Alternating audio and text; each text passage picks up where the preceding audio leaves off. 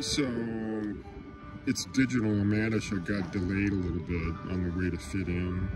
I bumped into these people on the street corner over here near Veronica Gasso. And it's kind of weird because there they are. And they're, um, they're giving a concert somebody. Franz Ippisch, who was expelled from Austria and sent to Guatemala or something.